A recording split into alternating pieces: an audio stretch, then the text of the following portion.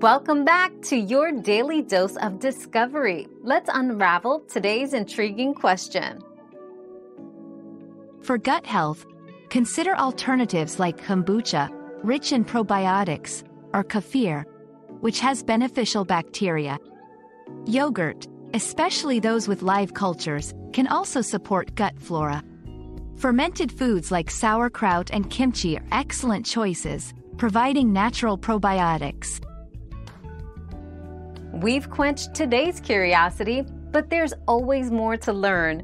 Keep the curiosity alive by subscribing and joining us for our next adventure.